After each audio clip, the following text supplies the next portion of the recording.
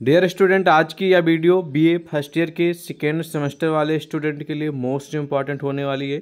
जो भी हमारे बीए सेकेंड सेमेस्टर यानी कि द्वितीय सेमेस्टर के स्टूडेंट है, जिनका सब्जेक्ट जियोग्राफी यानी कि भूगोल है, और उनकी जो परीक्षा है एमसीक्यू बेस पे यानी कि ऑब्जेक्टिव क्वेश्चन आने वाले उनकी परीक्षा में, उनके लिए ये वीडियो बहुत ही महत्वपूर्ण है।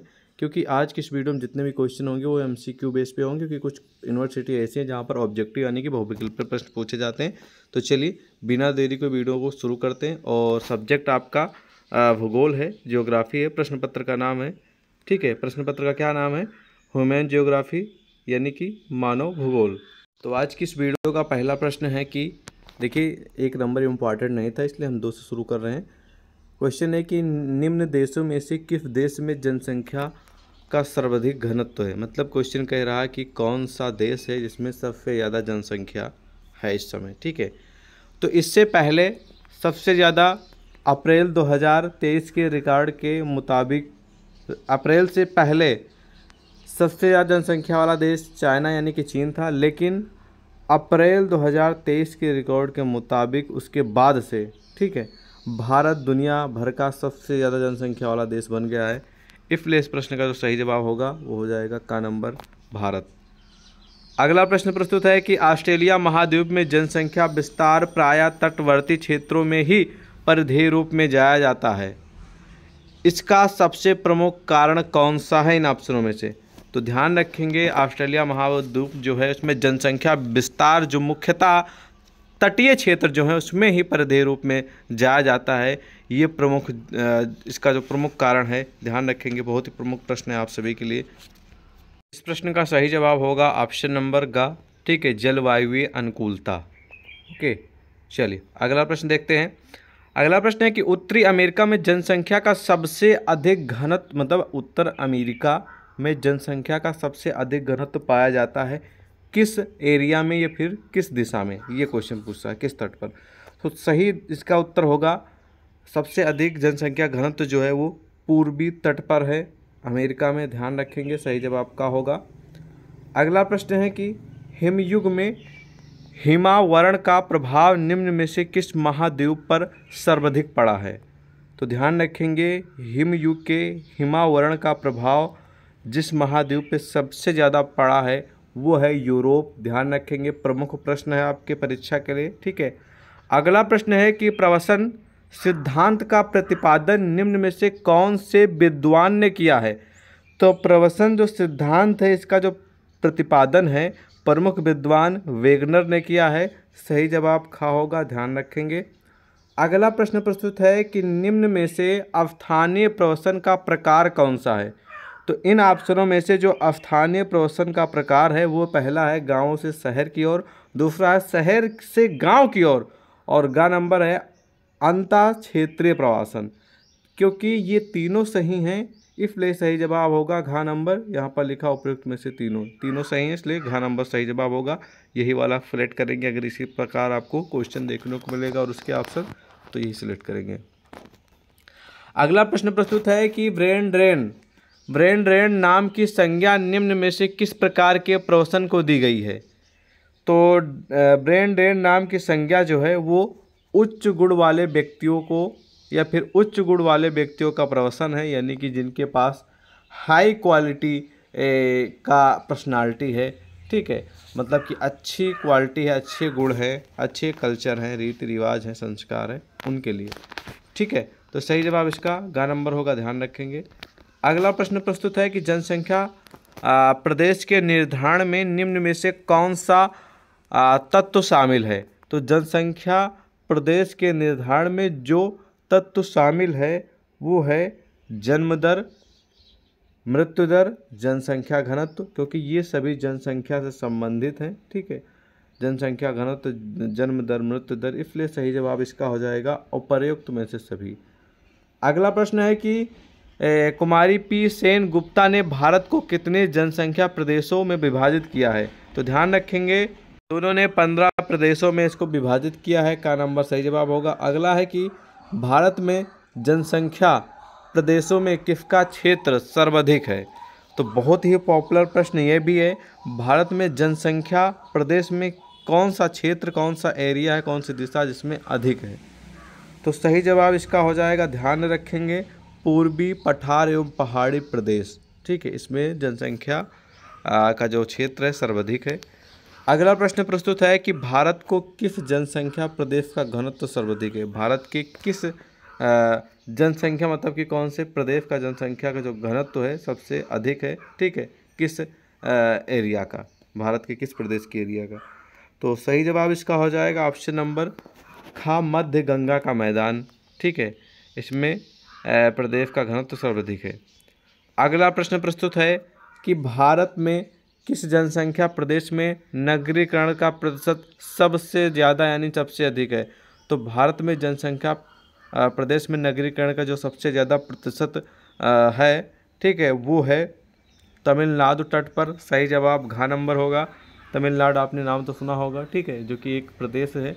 अगला प्रश्न है कि 2011 के आधार पर भारत में जनसंख्या का घनत्व कितना है? तो 2011 के अनुसार भारत का जनसंख्या जो घनत्व तीन सौ बयासी है। खा नंबर सही जवाब होगा, ध्यान रखेंगे। अगला प्रश्न प्रस्तुत है कि किस देश की खाद्य सामग्री, यानी कि खाने वाली चीज़ें, से जब जनसंख्या बहुत अधिक हो जाती है तो उसे क्या कहते हैं? तो सही जवाब इसका हो जाएगा, ध्यान रखेंगे उसको कहा जाएगा, जनाधिक। किसी देश की खाद्य सामग्री जब जनसंख्या से बहुत अधिक हो जाती है। मतलब ज़्यादा हो जाती है तो उसे कहा जाता है जनाधिक अगला कि जनाधिक की समस्या का समाधान हो सकता है किस चीज़ से? तो जनाधिक की समस्या जो है, इसका जो समाधान हो सकता है, अगर आप कृषि पुनर्व्यवस्था करेंगे, अच्छे से कृषि करेंगे, औद्योगिक यानी जो आप फैक्ट्री हैं, जो बिज़नेस हैं, या फिर जो भी कंपनी लगाना चाह रहे हैं, ठीक है, उसमें विकास होगा तो परिवार नियोजन से, यानी कि परिवार की जो जनसंख्या उसको कंट्रोल करने से ठीक है? तो इन सभी से समस्या का समाधान होगा, इसलिए सही जवाब हो जाएगा घ नंबर उपर्युक्त में से सभी। अगला प्रश्न है कि जनाधिक्य की समस्या उत्पन्न होती है कहाँ से? तो सत्रह नंबर जो प्रश्न है, इसका सही जवाब हो जाएगा। जनाधिक की जो समस्या है, वो जन्म दर बढ़ने व मृत्यु दर घटने से है। सही जवाब घा होगा इसका, ध्यान रखेंगे, प्रमुख प्रश्न है। बहुत ही प्रमुख प्रश्न अगला भी है कि भारत का जनसंख्या दृष्टि से कौन सा स्थान है? यानी कि भारत देश जो है, ये जनसंख्या के दृष्टि से कौन से स्थान पे है? ठीक है? तो जनसंख्या के दृष्टि से पहला स्थान पे है क्योंकि जनसंख्या सबसे ज़्यादा भारत देश में हो गई है। अगला प्रश्न है कि भारत में राष्ट्रीय जनसंख्या आयोग का गठन हुआ था तो भारत में राष्ट्रीय जनसंख्या का जो गठन किया गया था आयोग का, ये किया गया था 2001 में। सही जवाब, घा नंबर, गा नंबर होगा। अगला है कि जनसंख्या नीति में निम्न में से कौन सा जनांकिकीय चर सम्मिलित है? ठीक है? तो भाई, पहला भी शामिल है, आकार भी है, वितरण भी है और गठन भी है। इसलिए सही जवाब इसका हो जाएगा उपयुक्त में से तीनों, क्योंकि ये सभी शामिल है। अगला प्रश्न प्रस्तुत है कि जनसंख्या नीति 2000 की घोषणा हुई किस सन में? तो जनसंख्या नीति 2000 की जो घोषणा है, वो 15 फरवरी 2000 को की गई थी। ध्यान रखेंगे, ये भी ठीक है, प्रमुख प्रश्न है। अगला है कि जन, निम्न में से कौन मानव संसाधन विकास के उद्देश्यों में शामिल नहीं है। ठीक है? तो इनमें दिए गए ऑप्शन जो है, वो मानव संसाधन विकास के उद्देश्य, यानी जो उसका लक्ष्य है एम है, उसमें जो शामिल नहीं है, वो है उपयुक्त में से सभी, क्योंकि इसमें दिए गए कोई भी उद्देश्य शामिल नहीं इसलिए सही जवाब घा नंबर होगा।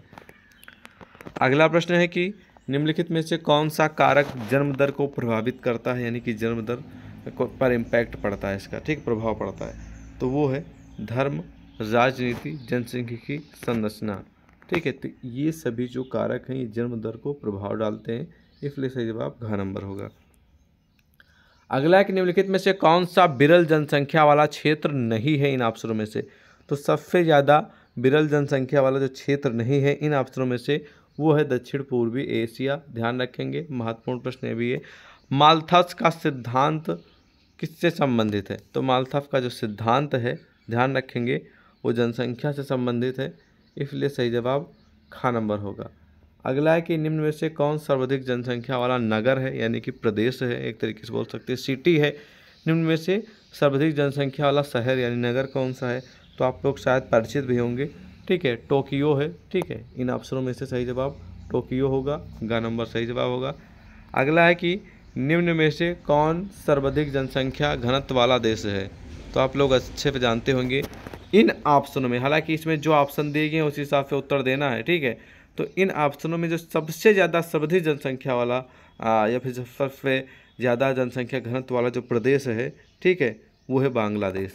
सही जवाब का नंबर होगा ध्यान रखेंगे। अगला प्रश्न है कि निम्न में से कौन सा राज्य मानव विकास सूचकांक में सबसे नीचे है? तो मानव विकास सूचकांक में सबसे जो नीचे है लास्ट में है जो है ठीक है वो है बी क्या है? बिहार। सही जवाब का नंबर होगा। अगला है कि निम्नलिखित में से किस महाद्वीप में जनसंख्या वृद्धि सबसे या फिर सर्वाधिक होती है? ठीक है तो सही जवाब इसका हो जाएगा। ध्यान रखेंगे, प्रमुख प्रश्न ये भी है। सही जवाब इसका हो जाएगा ग नंबर अफ्रीका। अगला प्रश्न प्रस्तुत है कि निम्नलिखित में से कौन भारत, निम्नलिखित में से कौन भारत 2011 के तीन सर्वाधिक जनसंख्या वाले राज्यों का सही अवरोही क्रम है? मतलब स्टेप बाय स्टेप ये आपको बताना है। हालाँकि क्वेश्चन आपके एग्ज़ाम में बहुत कम आता है, लेकिन आप इग्नोर भी कर सकते हैं। फ़िलहाल इसका मैं उत्तर बता दे रहा हूँ, ठीक है? स्टेप बाय स्टेप की बात किया जाए तो सबसे पहले आपका आ जाएगा। ध्यान से सुनेंगे। मध्य प्रदेश कौन सा? मध्य प्रदेश। उसके बाद आ जाएगा आपका कॉमा कर देंगे।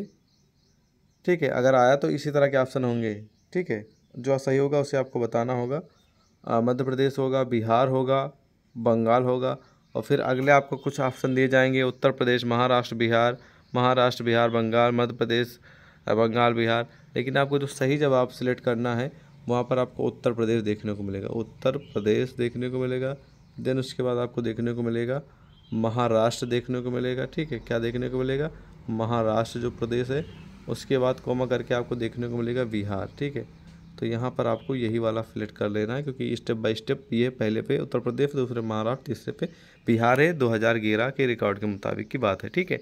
अगला है कि भारत में कुल कितनी जनजातियाँ हैं, बहुत ही प्रमुख और बहुत ही कॉमन क्वेश्चन आपको जानना भी चाहिए था, अगर नहीं पता है तो जान लीजिए आज।